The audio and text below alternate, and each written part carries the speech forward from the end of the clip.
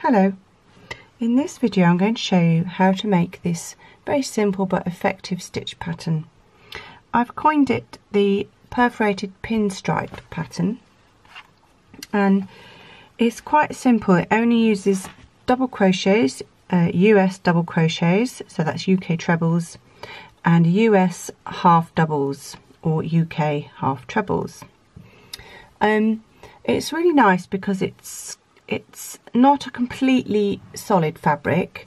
Um, it has got these what I call perforations um, and also it's not completely open and lacy so it makes it quite good for garments where you you don't want a completely solid stitch but at the same time you want a bit of modesty especially if you're working in a slightly smaller um, hook and yarn um, you get this very fine beautiful drapey fabric that's perfect for summer tops. So this stitch pattern for this top that I've designed, um, I have actually, the, the top is crocheted from side to side. So this is how the stitch looks um, as you're crocheting it, but I've actually used it vertically in this top to give this nice kind of um, pinstripe effect. Um, if you want to see more details of this top, um, please do visit my blog mezzacraft.com where you will be able to find the pattern.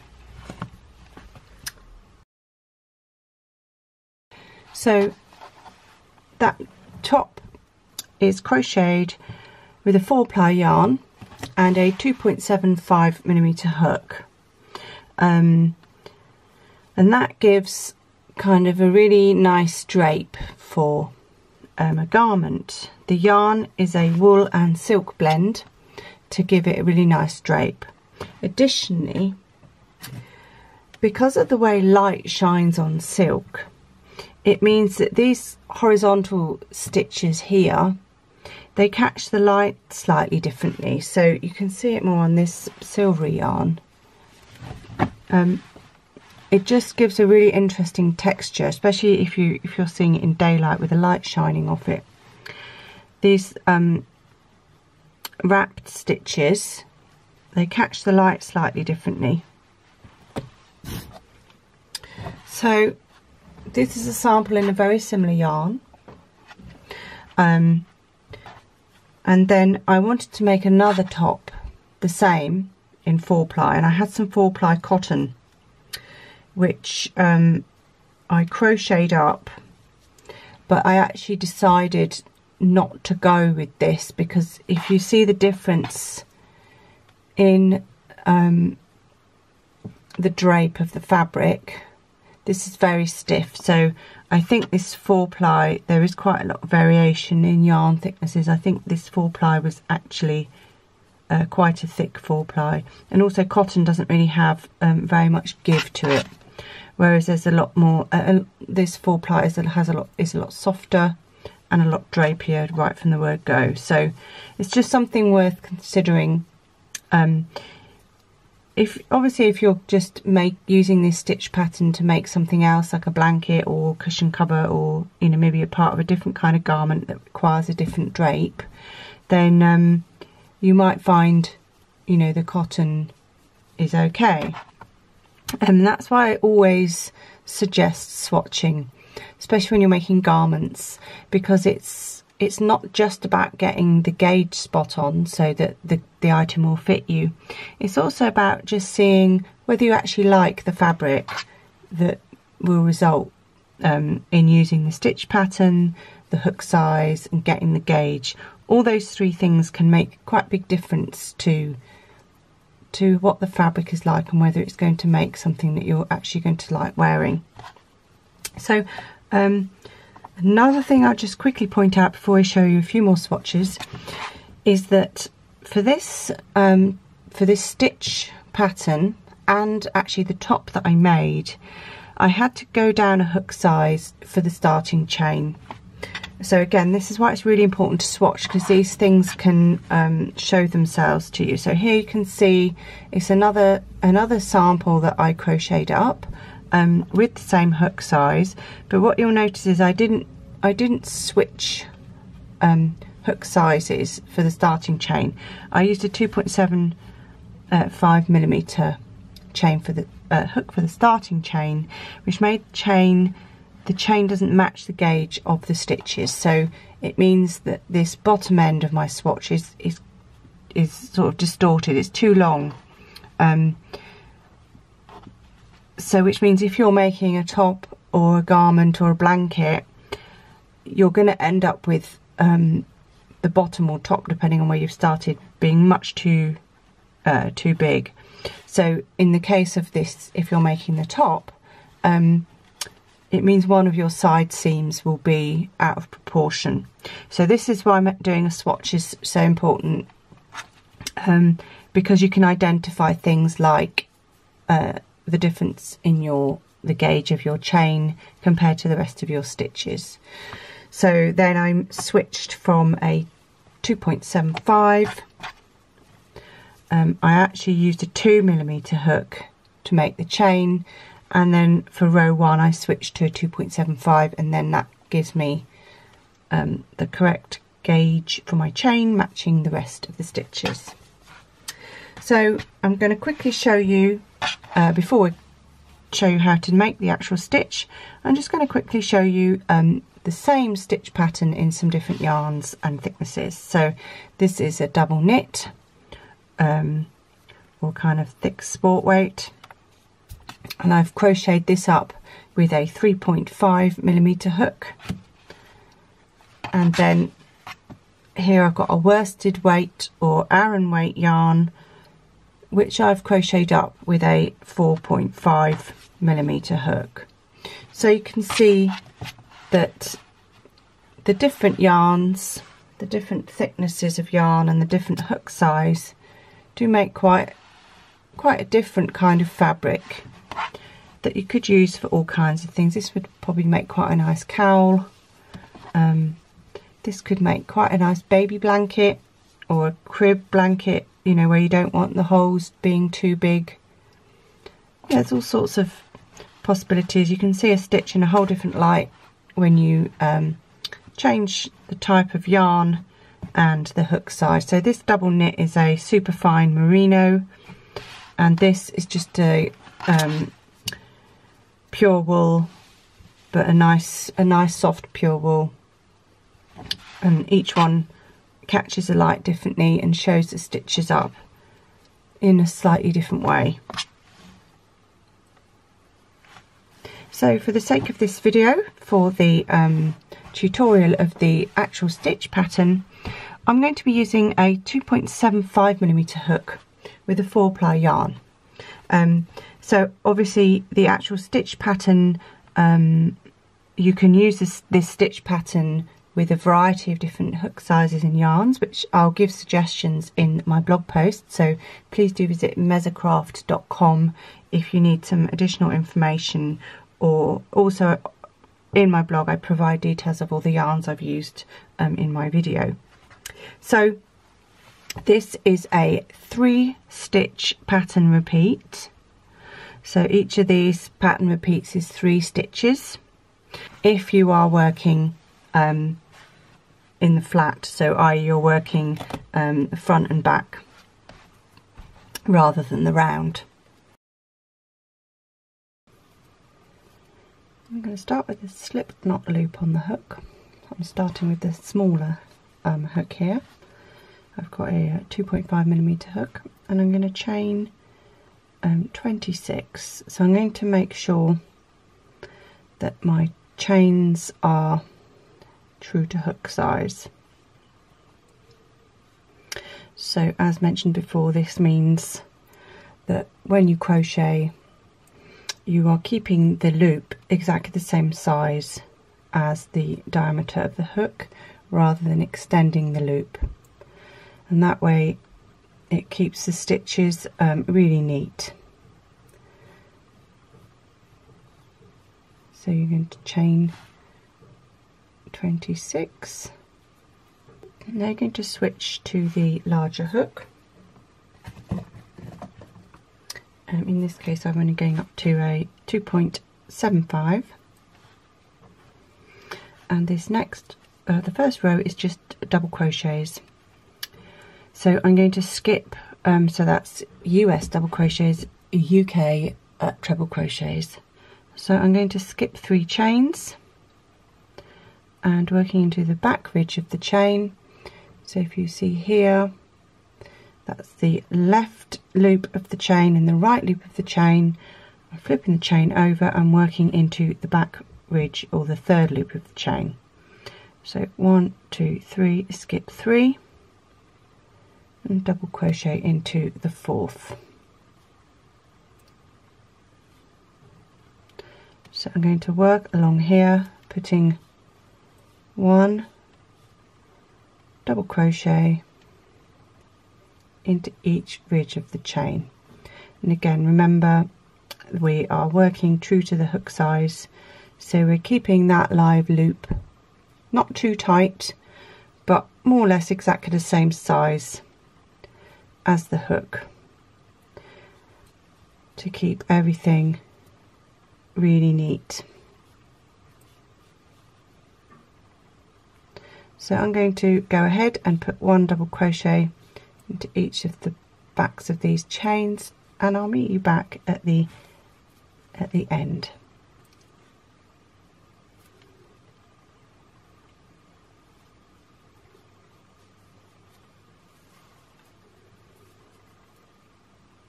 So here are you should have um, 24 stitches um, and you're counting the turning chain. Where you skip the three uh, chains you're counting that as a stitch. Now we're going to move on to row 2 we're going to chain 2 and turn the work. From now on at the start of every round there's going to be a chain 2 turning chain.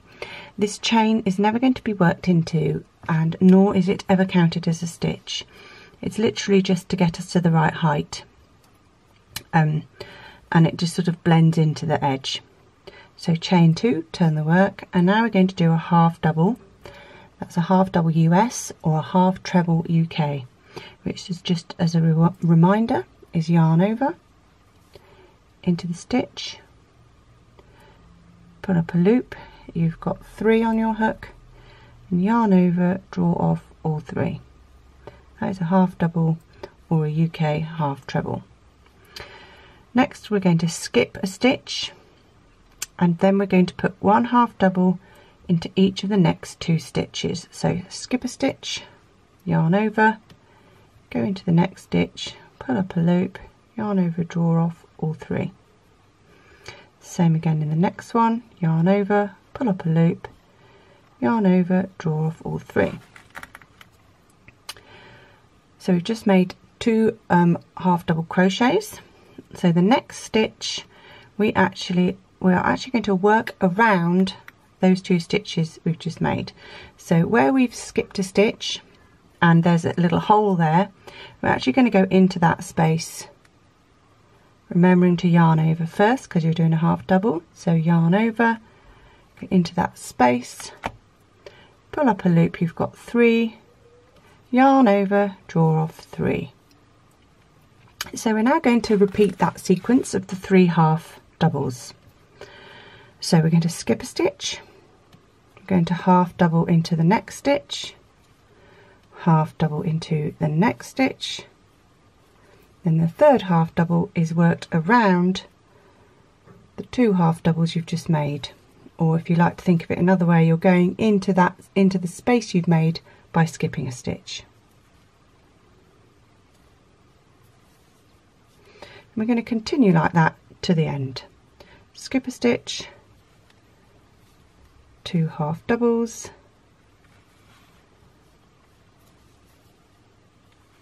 half double round the two just made. So I'm going to carry on like that and I'll meet you at the end of the row. So I'm come to the end of the row and the last stitch, the last half double, is going to be made in the top of the turning chain. So we're going to skip the um, first proper double crochet we did in row one and then we're going to um, half double into that chain. So through both loops of the chain making sure the third part of the chain is at the back. So you want to avoid just going into that space because it makes a hole. You also want to avoid just picking up one loop because it looks can look a bit messy. You need to treat that chain just as if it was a stitch by going through both loops. So half double into the last stitch which is the chain, three turning chain. So your work should look like this. Now we're ready to do row three. So again, we're going to chain two. I'm going to turn the work and remember this does not count um, as any stitch and we never work into it either. The next row is all um, double crochets. So we're going to double crochet into the first stitch. Then we're going to double crochet into this little space we've got here, the first space and then we're going to put one double crochet into each of these wrapped stitches. These two half doubles. We're going to put one in one one in the next.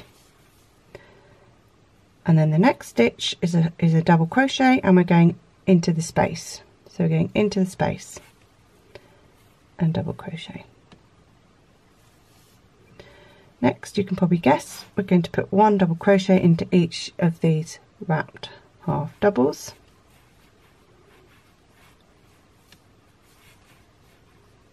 And we're going to continue along like that, one in the space, one in each double half double of the wrapped half doubles. Remembering all the time to keep your loop um, true to the hook size so that it keeps everything really nice and neat because this as mentioned before this stitch really doesn't look that good. This stitch combination doesn't look that good if um, there's a lot of space between between the stitches. So I'm going to carry on like that. And I'll meet you at the end of the row I'm now ready to put in my last stitch which goes into um, the first half double that I made from the previous round row rather. And you should have 24 stitches. So if you can see here right at the end we've got a little chain two. But as you see those chain twos they they disappear. And it just means we don't have um, that horrible hole the edge that you can get from um, having a turning chain as an actual stitch. So I'm just going to double check that I have got 24 stitches. 2, 4, 6, 8, 10, 12, 14, 16, 18, 20, 22, 23, 24. Remember we're not counting the turning chain. So that's perfect. So I'll just do one more row with you and hopefully you get the general gist of this quite simple but very effective stitch pattern. So let's do row 4. Chain 2, turn the work, half double into the first stitch and remember you're working into the back of the work now so you might need to tilt it forward just a little bit so you can see both loops of your stitches. Skip a stitch half double into each of the next two, half double around the two just made.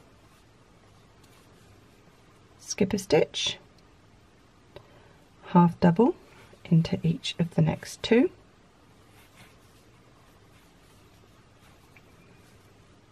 half double around the two just made. Skip a stitch, half double to each of the next two. Half double around the two just made. And continue like that to the end of the row.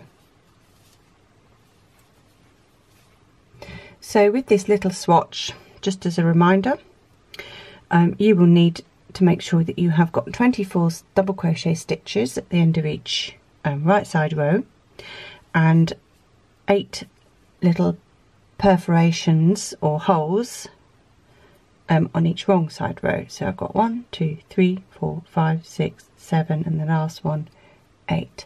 So um, as you're getting used to this stitch, I would highly recommend just every single row when you finish it, just count your stitches to make sure that you're on track. So I'm going to carry on making my swatch um, and I'll come back when I've finished to show you what it looks like. So here I have finished my little um, swatch, which I'm now going to wash um, in some lukewarm water with some mild detergent. I usually use a bit of um, shampoo.